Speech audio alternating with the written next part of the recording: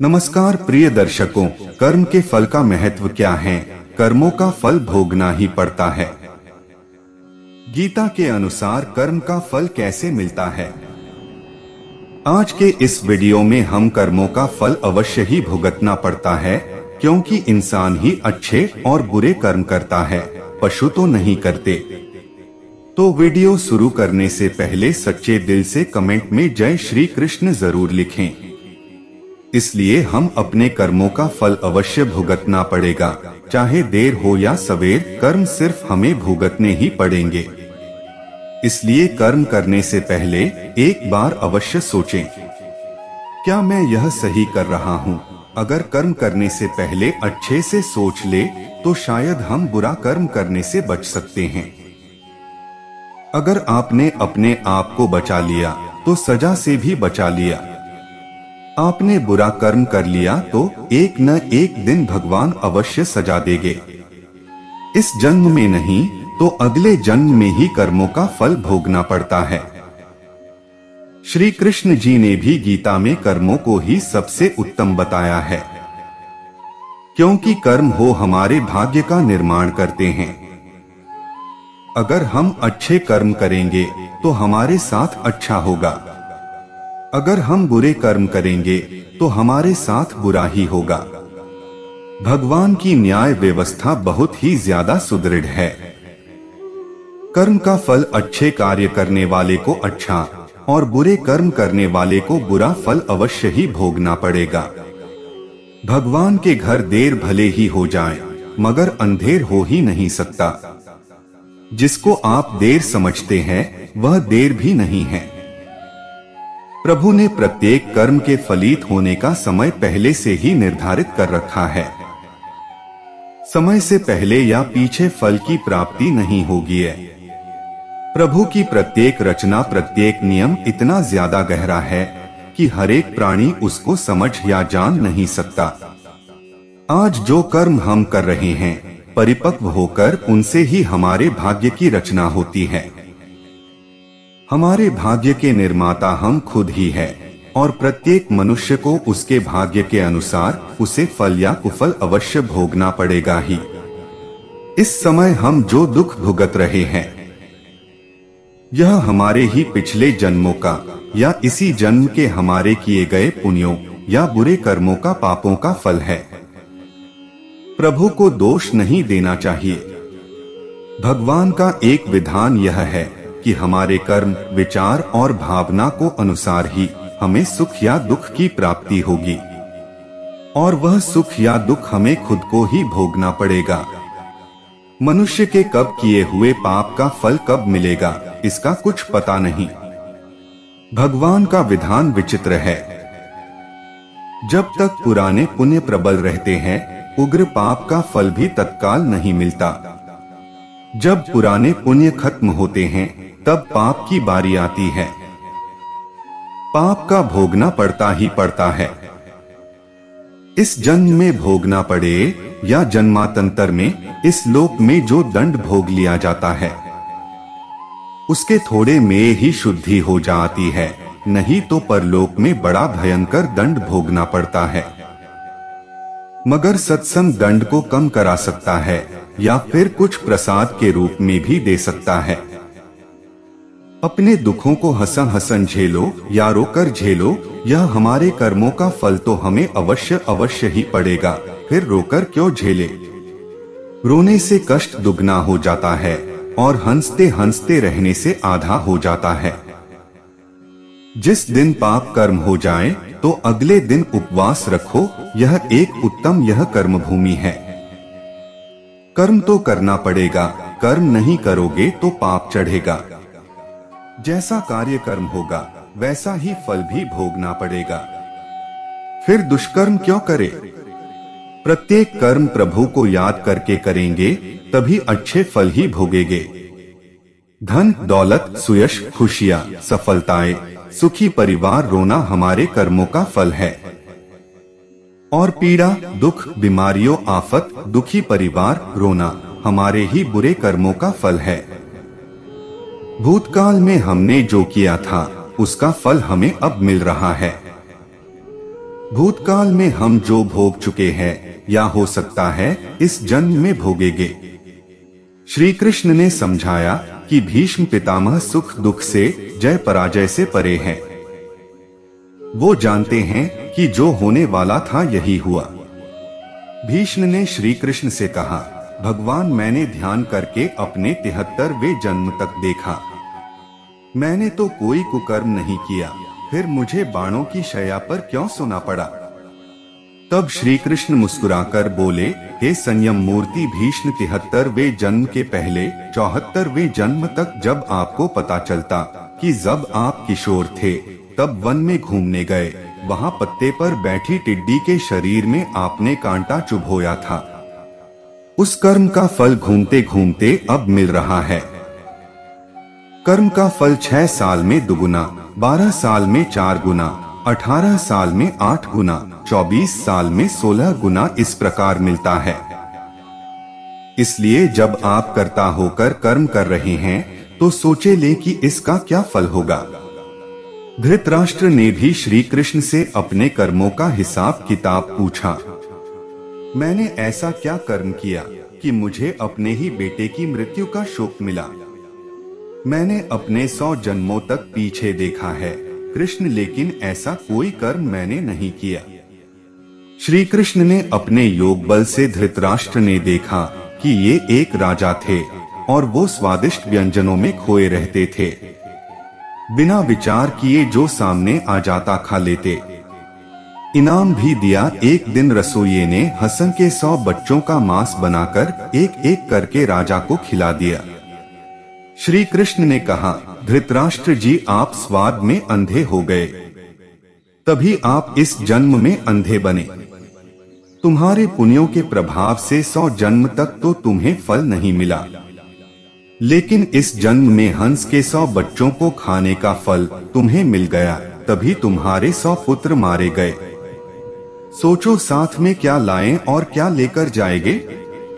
मनुष्य को ऐसी कमाई इकट्ठी करनी चाहिए, जो इस संसार में भी काम आए और मृत्यु के बाद उसे हम साथ में भी ले जा सके और हमारे ही काम और अगले जन्म में भी हमारे ही काम आ सके। सभी जानते हैं कि हम खाली हाथ नंगे इस संसार में आए और खाली हाथ ही जाना पड़ेगा। मृत्यु के समय यह धन, दौलत, ज़मीन, मकान, व्यापार, नौकरी, नाम, शोहरत, रिश्तेदार, भाई, बहन, माँ बाप, सभी बच्चे किसी को भी साथ नहीं ले जा सकते। चाहे राजा सम्राट हो या कोई भिखारी हो। इसलिए इतना मोह, इतना ज़्यादा लगाव इनसे क्यों रखें? साथ में हमारे जाएँगे सिर्फ़ हमारे अपने किए हुए अच्छे या बुरे कर्म। कीर्ति या अपकीर्ति, दान, धर्म, परोपकार, दुखियों की सेवा, पुण्य जो भी हम इस जन्म में करेंगे, यह अवश्य साथ जाएगा और हमारे ही काम आएगा। हमें प्रत्येक दिन जब भी हमारा मन शांत हो, आँखें बंद करके दो चार मिनट यह सोचना अवश्य चाहिए कि हम इतनी बड़ी अशांति को क्यों अपने साथ क्यों बांधे हुए हैं। यह भाग दौड़, तनाव ताना बाना मकड़ी के जैसा जाला बुनकर खुद उसमें उलझे हुए क्यों है और किसके लिए? जो हमें बुरा लगता है, यह दूसरे को कभी मत दो, जैसे कि कड़वी बात, गाली, गुस्सा, बेइज्जती, असम्मान, अपमान, गला सड़ाया, खोट वाला खाने का, पीने का सामान। जो चीज़ें हमें अच्छी लगती है, वह दूसरों को जरूरतमंद को बिना मांगे भी दो। जैसे कि आम, लक्ष्मी, मीठी बातें, सदव्यवहार, सम्मान, खाने पीने के अच्छे अच्छे बढ़िया सामान, दोनों हाथों से बांटो, लूटा दो। परोपकार करो, दान धर्म करो, संतों ने कहा भी है, जो कुछ तुम समेटते हो, यह तो सपना है, जो लुटा रहे हो लो केवल अपना है। इसलिए जितना लुटाओगे, वो ही तुम्हारे साथ जाएगा। तुम्हारे काम आएगा सिर्फ़ तुम्हारे ही याद रखो कि संसार की किसी भी वस्तु से मनुष्य का स्थायी संबंध नहीं है। यह शरीर, मकान, रुपए, पैसे, ज़मीन, जायदाद, स्त्री, पुत्र, परिवार बांधे मित्र, दोस्त, कोई भी साथ रहने वाला नहीं है। एक दिन इन सब वस्तुओं को ज्यो का त्यों छोड़कर यहाँ से चल देना है। जब जाएँगे, तब साथ में कुछ भी ले नहीं जाएँगे, सिर्फ़ भगवान साथ छुटने वाला नहीं है। साथ में एक छोटा सा तिल भी नहीं ले जा सकते। आप कितने भी उपाय कर लो, सारे उपाय यहीं धरे रह जाएँगे। सिर्फ़ भगवान नारायण, प्रभु की भक्ति, दुखियों की सेवा, दान, पुण्य साथ में अवश्य जाएगा। साथ में जो जाएगा वही तो अपना हुआ साथ में जो नहीं ले सकते वे सब पराया हुआ। जीते जी उन पराई वस्तुएँ से मोह क्यों रखें? आप गंभीरता को जाकर विचार करें, साथ में एक तिल भी नहीं ले जाने पाएँगे तो फिर अशांति, हाय, छीना झपटी क्यों? किसके लिए? भगवान का हुक्म है, हर कार्य प्रभु के निमित्त समझकर, फल प्रभु पर छोड़ दो, वो कभी बुरा करेंगे ही नहीं। तो सोचो फिर दुख क्यों करें? दुख सुख भी एक सोच के कारण ही तो है। दुख को भी सुख मानो, प्रभु सुख ही सुख कर देंगे। यदि मोक्ष की इच्छा है तो विषयों विष के समान दूर से ही त्याग दे और संतोष दया, सरलता अमृत के समान नित्य आदर पूर्वक सेवन करे। कर्मों का फल भोगना पड़ेगा। यदि हमने सही जीवन का उद्देश्य नहीं चुना तो निश्चय ही हमें कर्मों का हिसाब किताब करना होगा। जब यह शरीर छोड़ेंगे तब कैसा अनुभव होगा? यदि हम साधना करें तो कर्मों का हिसाब किताब कुछ कम हो सकता है। वैसे कहा जाए तो यह कलयुग है। आज करेंगे, कल पाएँगे। इस जीवन में हिसाब किताब बहुत कुछ होता है, लेकिन कुछ ऐसे कर्म ही होते हैं। कि आने वाले जन्मों में भी हमें उसका हिसाब किताब चुकाना पड़ता है। इसलिए मनुष्य जीवन यह बहुत ही अनमोल सृष्टि योनियों में है। इस शरीर से हम उस आत्मा का काम कर सकते हैं। परमात्मा का मिलाप हो सकता है। स्वार्थ और परमार्थ के दो काम होते हैं। शरीर के लिए जो भी काम है वह भी स्वार्थ और आत्मा के लिए किया गया कार्य परमार्थ है। सुमिरन ज़रूर करो। सुबह का शाम शाम का सुबह, और आज का कल पर मत टालो। जब समय मिले तभी कर लो। कोई भी काम करो, आधा मिनट, एक मिनट आँख बंद करो, और नाम रूप को याद कर लो, इससे ठीक रहता है। और ध्यान भी ऊपर की तरफ़ बना रहता है। परमार्थ में स्वभाव का बदलना बहुत ज़रूरी है। स्वभाव कोई आज का नहीं है, यह युगों युगों का पड़ा हुआ है, और गुरु की कृपा से ही यह बदला जा सकता है। मनुष्य जीवन का उद्देश्य क्या है? साधना करने वाले व्यक्ति ज़ोर शोर के साथ साधना करें। अंतर ध्यान होकर साधना करें, ताकि तुम्हें और लोग न देख सकें। स्त्री और पुरुष अपना उस विशुद्ध ताकत को जमा कर लें, जो उनके अंदर छिपी हुई है। उसको जगा लें और जगाने के बाद में, यदि एक भक्त हो जाएगा तो सारी दुनिया को रोशन कर जाएगा। महान आत्मा एक हुआ करती है। आत्मा की उस विशुद्ध प्रकाश में जाना है। तो हमारे सार सत्संगी सब उसी रास्ते पर लगे रहें। एक सूत्र में और एक मार्ग में बंधे रहें, और भविष्य में जो भी आपका धर्म है, उसको शरीर के अंतिम श्वास तक खत्म करना चाहिए, ताकि दोबारा तुमको यह जन्म न मिले। ताकि दोबारा कष्ट की योनियों में, इस फितरत में न आना पड़े। यह हमारा लक्ष्य है। जिस समय पर तुम्हारी मौत की अवस्था आएगी, उस समय पर तुम पहले पहुँच जाओ। वहाँ तुम पहले देख लो। वहाँ पहले तुम बसो। चल दो, वह स्थान तुम्हारा पहले आगे जाने का मुकर्र हो जाए, और जब तुम शरीर छोड़ने लगो तो देखो, मैं यह तो पहले से ही तैयार बैठा हूँ। यह तो मैंने पहले से सोच रखा है। न हमारे मोह है, न आशक्ति है, न हमारे ध्यान है, न धारणा है, न लगाव है। जरा सोच लो।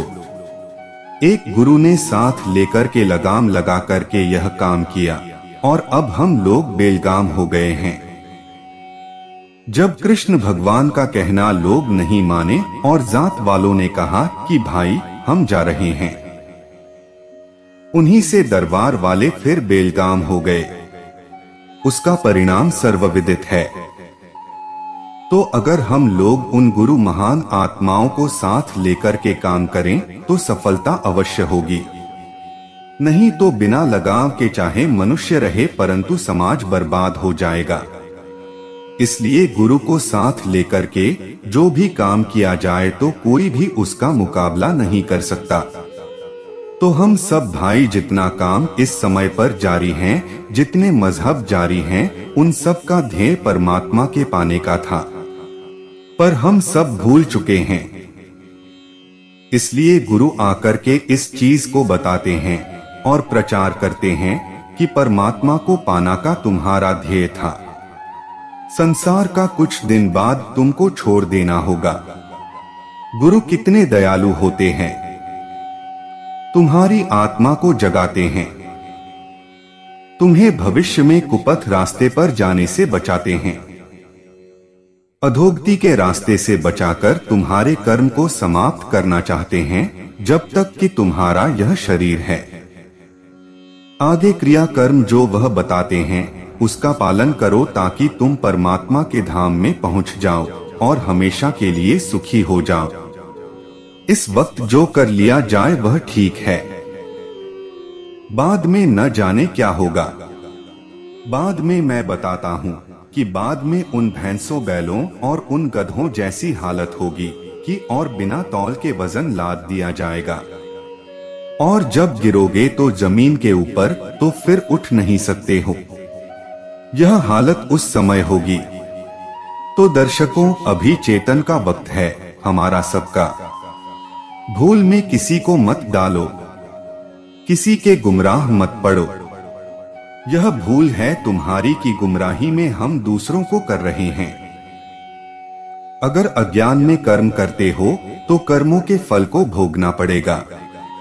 अगर किसी अध्यात्म शक्ति को साथ ले लोगे तो गलती न हो पाएगी, वह रोकने वाली, वह लगाम लगाने वाली, वह गुरु अगर पास में रहेगा तो आप गलत रास्ते पर नहीं जा सकते हो। कर्मों का फल व उनकी सजा हमें इस शरीर छोड़ने के बाद भी भोगनी पड़ती है। जीवन रहते भी उसका हिसाब किताब बहुत कुछ करना होता है। कलयुग को कर्मश्रेष्ठ युग माना जाता है। इस युग में सिर्फ़ कर्म का ही फल मिलता है।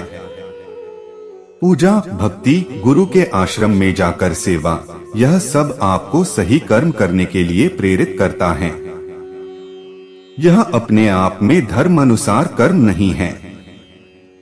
धर्म अनुसार कर्म वो है जो कि व्यक्ति अपनी उन्नति के लिए अपने परिवार तथा अपने पूरे परिवार तथा जिस समाज, मोहल्ले या सोसाइटी में वो रह रहा है, उसकी उन्नति के लिए पूरी निष्ठा ईमानदारी से करता है। ऐसा करते हुए वो समाज में प्रगति भी कर सकता है, घन अर्जित भी कर सकता है। यहाँ यह स्पष्टीकरण आवश्यक है कि निष्ठा ईमानदारी से कार्यरत रहने का यह भी आवश्यक मापदंड है कि वह व्यक्ति समस्त नकारात्मक सामाजिक बिंदुओं का भौतिक स्तर पर विरोध करेगा। जैसे कि भ्रष्टाचार, कमज़ोर वर्ग तथा स्त्रियों पर अत्याचार, पर्यावरण को दूषित करना या नष्ट करना। एक और उदाहरण लेते हैं, एक हज़ार वर्ष की गुलामी की लंबी अवधि में। ऐसे अनेक अवसर आए, जब यदि समस्त राज्य मिलकर विदेशी हमलावरों का मुकाबला करते तो भारत का इतिहास कुछ और होता। यह भी सही है कि समस्त राजा वीरता पूर्वक लड़े, लेकिन लड़े अलग अलग और इतिहास आपको बताता है कि कितना व्यापक विनाश था। यह किसी भी मानक से सही कर्म या धार्मिक कर्म नहीं कहला सकता। आप सबको फिर से आश्वस्त कर देना चाहता हूँ कि कलयुग मानव के लिए सबसे श्रेष्ठ युग है। कलयुग सबसे श्रेष्ठ युग मनुष्य के रहने के लिए अब हम मापदंडों के आधार पर हम कलयुग की चर्चा करेंगे, जो आगे बताया गया है। पहले वेदांत ज्योतिष से देखते हैं, एक महायुग या कल्प जो भी आप कहना पसंद करें, उसके बारह भाग होते हैं। पहले चार भाग सत्ययुग, इसके बाद के तीन भाग त्रेता युग बाद में दो भाग द्वापर युग, फिर एक भाग कलयुग, और बाद में दो भाग संधि का संधि कल दो महायुग के बीच का वो भाग है, जब पृथ्वी का स्वाभाविक पोषण होता है।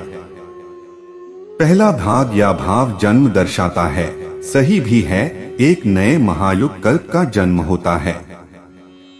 जिसमें सदियों से भटक रहे मनुष्य, या यह कहिए कि पिछले महायुग के बचे हुए मनुष्य, जिन्हें हम मनु के नाम से जानते हैं। उसके साथ यह संकल्प ले पाते हैं कि अब समुद्र के ऊपर ना रहकर पृथ्वी पर रहा जा सकता है। दूसरा भाव कुटुम्ब का है, अब जब दोबारा पृथ्वी ही घर हो गई तो लोगों ने साथ मिलकर बस्तियाँ बनानी शुरू कर दी। तीसरा भाव छोटे भाई और बहन का है। जंगल में नई मनुष्य की प्रजाति अब पनप रही थी, जिनके पूछ थी और जिन्हें हम वानर भी कहते हैं। चौथा भाव घर और गृह सुख का है। अब अनेक बस्तियाँ मिलकर कबीला या राज्य कहलाने लगे। तो यह है सत्ययुग की परिकल्पना, जिसमें अधिकांश समय राक्षसों का राज्य रहा। और राक्षस उन मनुष्यों को कहते हैं, जो मनुष्य का मांस खाते हैं। पंचम भाग संतान का है। पहली बार विष्णु अवतार परशुराम ने संगठित ढंग से कमज़ोर वर्ग तथा स्त्रियों के विरुद्ध जो अत्याचार हो रहे थे, उसके लिए सशक्त अभियान चलाए। छठा भाव शत्रु विरोग का है। इसी समय श्री राम ने मानव शत्रु रावण को परास्त कराया। तथा वानरों के विरुद्ध भेदभाव था, उसे समाप्त करा दिया। तथा धर्म के नाम पर स्त्रियों पर जो अत्याचार हो रहे थे, उस पर अंकुश लगाया। अग्नि परीक्षा को अधर्म घोषित कर दिया। सप्तम भाव समाज का है, राम राज्य की स्थापना हुई। त्रेता युग में अधिकांश समय दुराचार था। हाँ राम राज्य तो हर मनुष्य का सपना है। अष्टम भाव जीवन दर्शाता है। जीवन एक रहस्य है, जिसे कोई आज तक समझ नहीं पाया। द्वापर युग का शुरू का इतिहास भी रहस्य बना हुआ है। नवन जो धर्म का भाव है, उसमें धर्म संबंधित स्थिति इतनी बिगड़ गई कि महाभारत युद्ध और उसके बाद घोर विनाश हुआ। द्वापर युग और सत्य युग दोनों ही अत्यंत ही मनुष्य के लिए नकारात्मक युग रहे हैं। दशम भाव कर्म का है, कर्म मनुष्य के नियंत्रण में है। इसलिए कलयुग में यदि आप उचित कर्म करें तो सुख और उन्नति निश्चित है। सिर्फ़ समस्या यह है कि दशम से जो नवा स्थान है, वो शत्रु स्थान है, और नवम भाव धर्म का है धर्म गुरु का भी है। अर्थात आपको जो भी गुरु मिलेगा, संभावना यह है कि वो आपको भटकाएगा।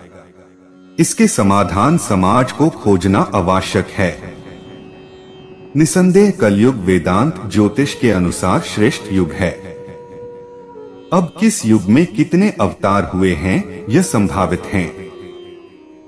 उससे युगों का आकलन करते हैं। ध्यान रहे अवतार जब आते हैं, जब धर्म का नाश होता है। सतयुग में चार, त्रेता युग में दो, द्वापर में तीन, तथा कलयुग में एक। स्थिति स्पष्ट है, धर्म का कम नाश कलयुग में ही संभव है।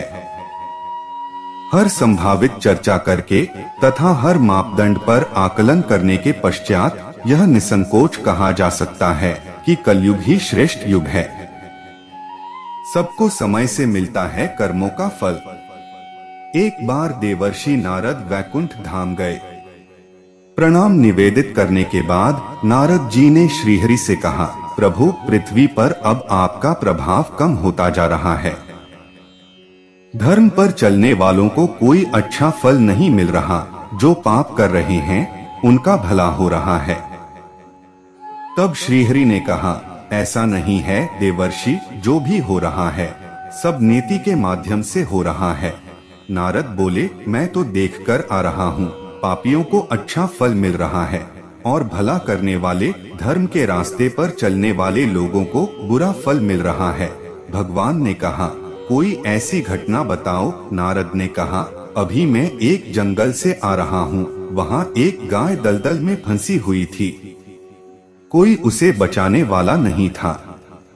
तभी एक चोर उधर से गुजरा, गाय को फंसा हुआ देखकर भी वह नहीं रुका। वह उस पर पैर रखकर दलदल लांग कर निकल गया।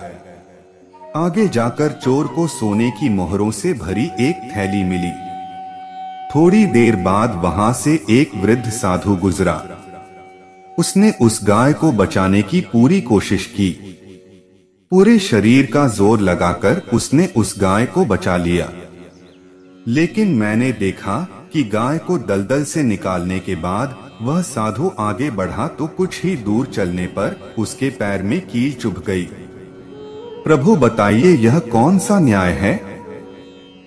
नारद जी की बात सुन लेने के बाद प्रभु बोले, तुमने जितना देखा उसी आधार पर नतीजा निकाल लिया।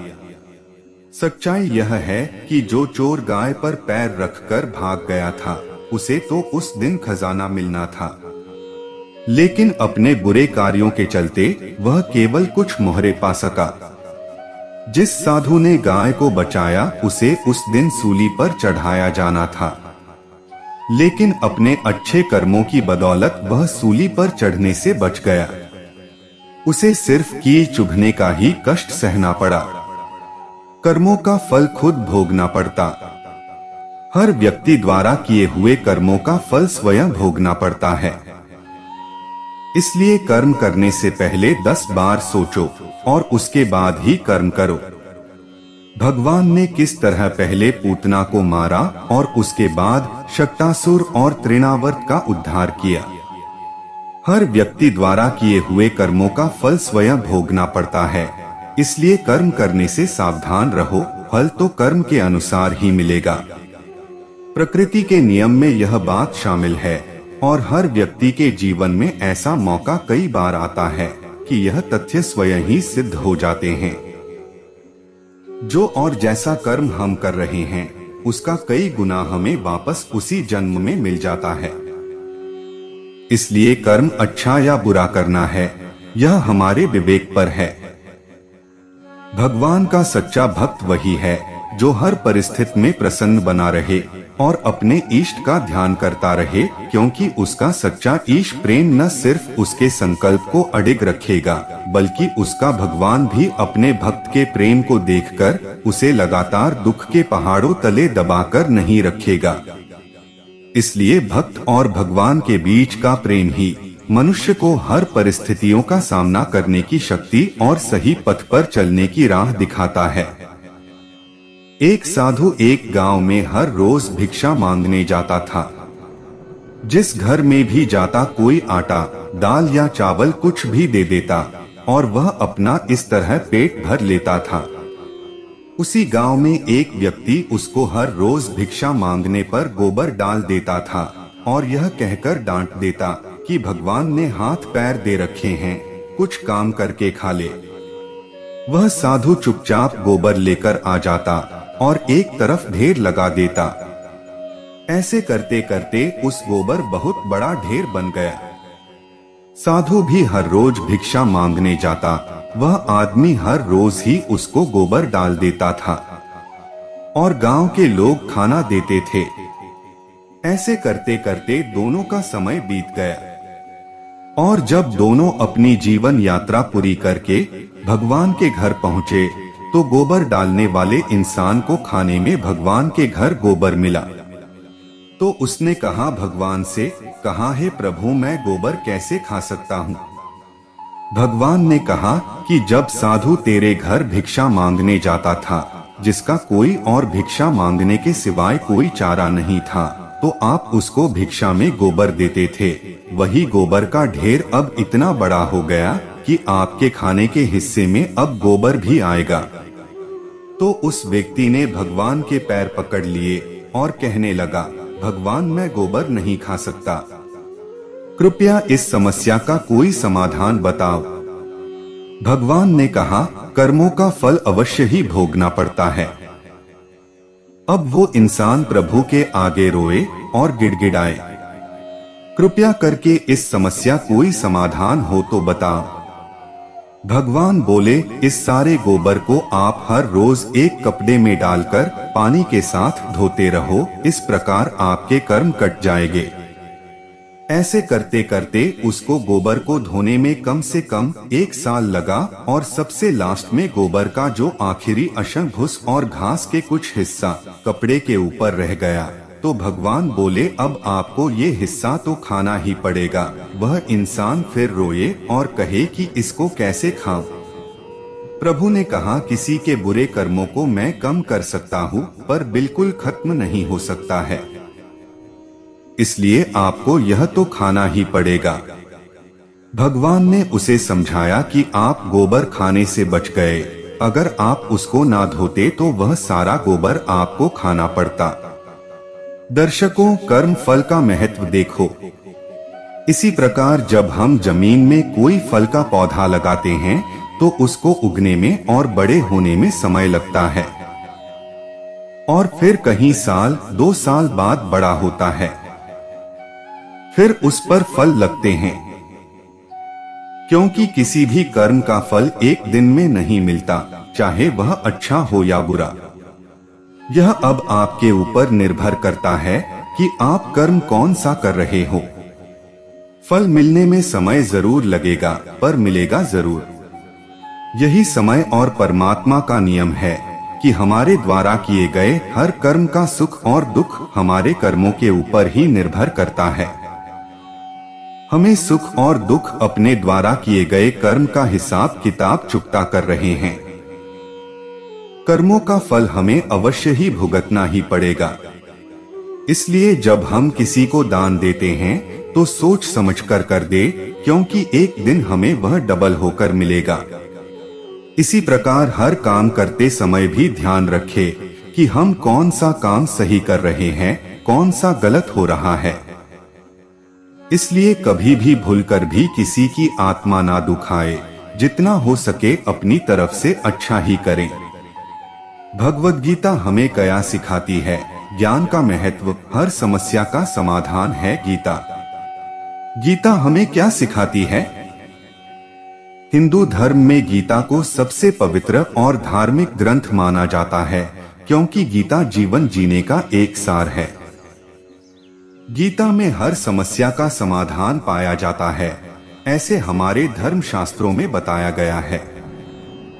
जीवन जीने के लिए अगर आप भी अपने जीवन में किसी भी प्रकार की समस्या से परेशान हैं, तो गीता को पढ़े और अपनी समस्या के लिए गीता को बार बार पढ़कर आप अपनी समस्या को खुद सुलझा सकते हैं। जो हुआ वह अच्छा हुआ। जो हो रहा है वह अच्छा हो रहा है। जो होगा वह भी अच्छा ही होगा। तुम्हारा क्या गया जो तुम रोते हो? तुम क्या लाए थे जो तुमने खो दिया? तुमने क्या पैदा किया था जो नष्ट हो गया? तुमने जो लिया यहीं से लिया। तुमने जो दिया यहीं पर दिया। जो आज तुम्हारा है, कल किसी और का था। परसों किसी और का हो जाएगा। परिवर्तन संसार का नियम है। जिसे तुम मृत्यु समझते हो, वही तो जीवन है। न यह शरीर तुम्हारा है, न तुम इस शरीर के हो। यह अग्नि, जल, वायु, पृथ्वी और आकाश से बना है और इसी में मिल जाएगा। परंतु आत्मा स्थिर है। तुम अपने आप को भगवान को अर्पित करो। यही सबसे उत्तम सहारा है। जो इसके सहारे को जानता है, वह भय, चिंता और शोक से सर्वदा मुक्त है। गीता ज्ञान का भक्ति का, कर्तव्य का, भाव का, प्रेम का, प्रभु से मिलने का एक ऐसा महासागर, जिसकी गहराई का, रहस्यों का किसी को भी पूर्ण ज्ञान जान पाना अभी तक प्राप्त नहीं हुआ है। नित्य नए नए भाव व नया ज्ञान पैदा होता है। जितना गहरा इसमें गोता मारेगे, उतना ही ज़्यादा आनंद, शांति और ज्ञान की प्राप्ति होगी। गीता का केंद्रीय एक भाव यही है कि तुम निरंतर कर्म करते रहो। परंतु उस कर्म में आसक्त मत हो। उसके अच्छे या बुरे फल को प्रभु नारायण को अर्पण कर दो। शुभ और अशुभता तो प्रत्येक कर्म में दोनों छिपे हुए होते हैं, उनको देखने की चेष्टा मत करो। किसी को भी मेरा है, मेरी है मत कहो, पूर्ण निश्चय को पूर्ण श्रद्धा से मानो। गीता हारे हुए मनुष्य में हिम्मत पैदा करती है और सद्गुणों से भर देती है। गीता को जितनी बार भी पढ़ोगे, सुनोगे, उसकी जितनी भी गहराई में हम जाएँगे, हमें उतना ही ज़्यादा आनंद, शांति और तृप्ति मिलेगी। गीता जी का हर घर में प्रचार होना चाहिए। प्रत्येक मनुष्य को रोम रोम में समस्त जातियों, समस्त धर्मों, समस्त प्राणियों के लिए है। गीता में भगवान श्री कृष्ण अर्जुन को समझाते हैं कि कर्म कभी मत छोड़ो कर्म न करने से घोर पाप लगेगा कर्म करते रहो। मैं कृष्ण संपूर्ण जगत का मालिक हूँ प्रभु हूँ मुझे जगत से प्रेम है मैं भी कर्म करता हूँ। मुझे किसी भी कर्म से किसी भी प्रकार का लाभ नहीं तो भी मैं कर्म करता हूँ। यदि मैं एक क्षण के लिए भी कर्म करना बंद कर दूँ, तो यह संपूर्ण जगत ही नष्ट हो जाएगा। भगवान श्री कृष्ण की इस वाणी से यह सिद्ध हो जाता है कि यह सब जो नियमित अनियमित जो भी हो रहा है, वह अपने पास स्वयं नहीं हो रहा है, प्रकृति को स्वयं भगवान चला रहे हैं। भगवान श्री कृष्ण ने गीता में अर्जुन से कहा है कि जो जो भक्त जिस जिस देवता रूप की श्रद्धा से पूजा करने की इच्छा करता है, उस उस देवता में ही मैं उस भक्त की श्रद्धा को स्थिर कर देता हूँ। वह भक्त उस श्रद्धा से युक्त हुआ, उस देवता के पूजन की चेष्टा करता है, और परमात्मा की निश्चित प्रक्रिया अनुसार उस देवता से वह निस्संदेह इच्छित भोगों को प्राप्त करता है।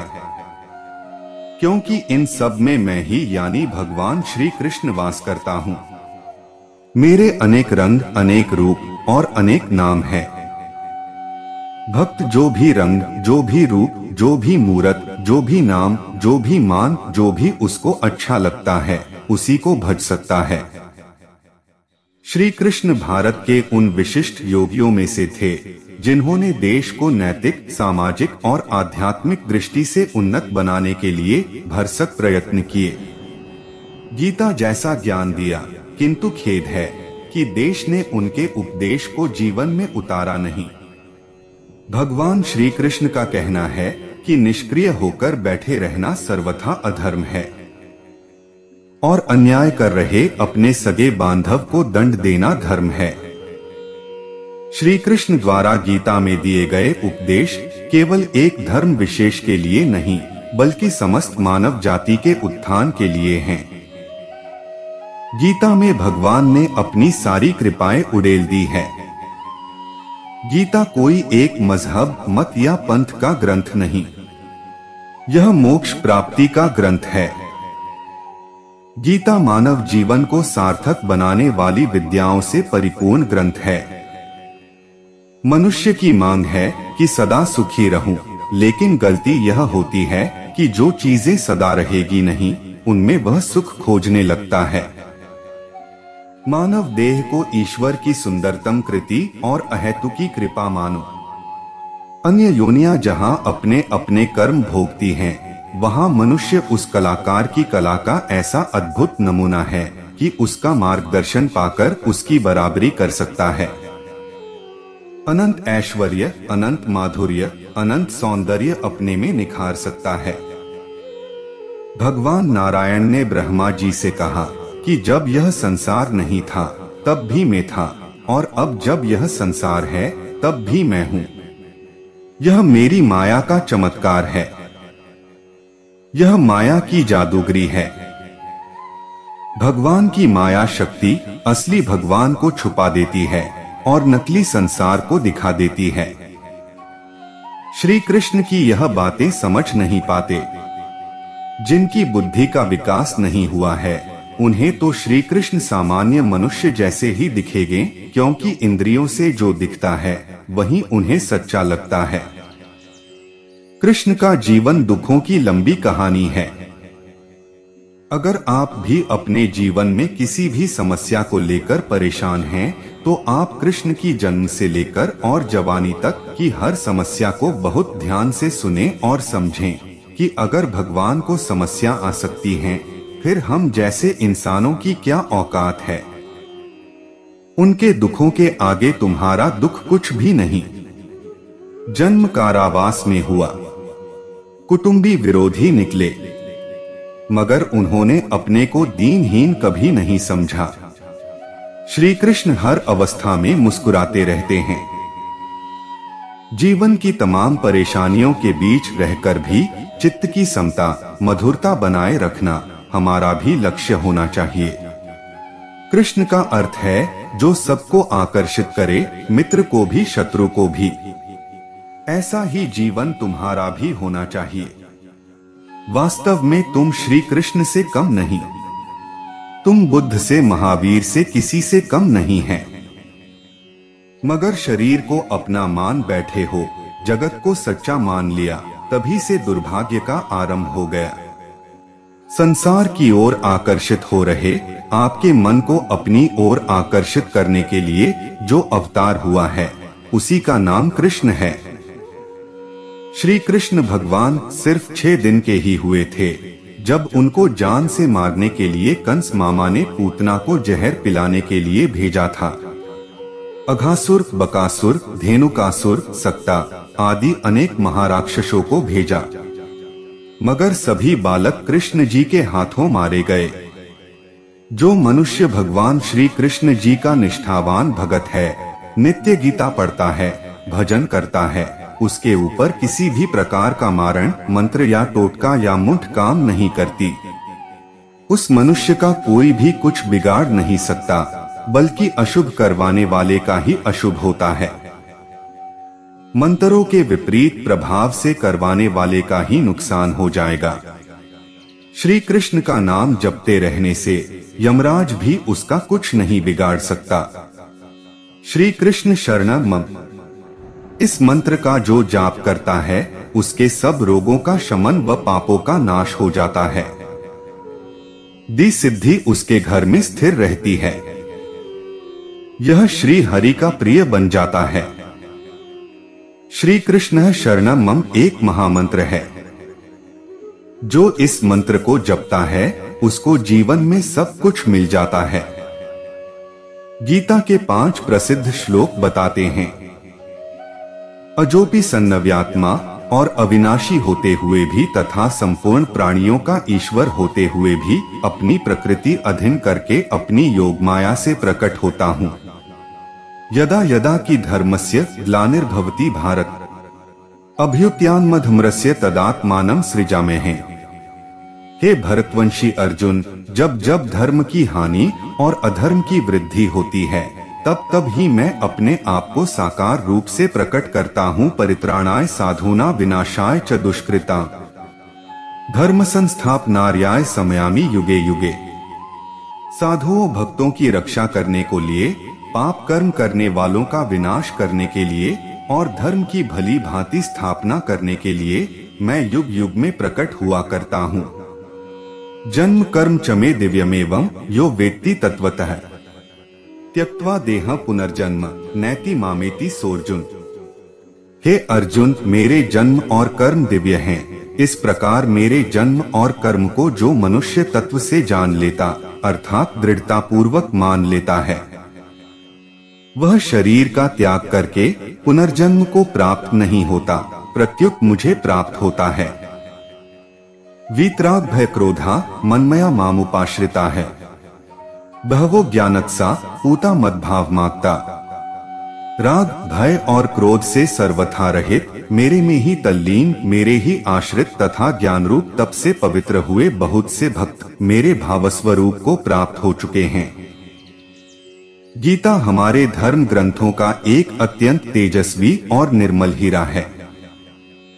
शास्त्रों का अवलोकन और महापुरुषों के वचनों का श्रवण करके मैं इस निर्णय पर पहुँचा हूँ कि संसार में गीता के समान कल्याण करने के लिए कोई और उपयोगी ग्रंथ नहीं है।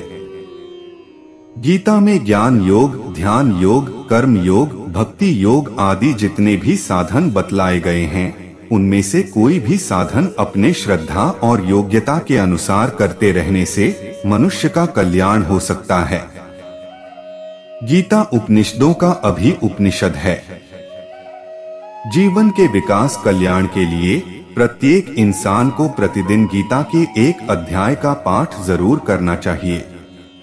इसलिए अनुभव पुरुषों ने कहा कि गीता धर्म ज्ञान का एक कोष है।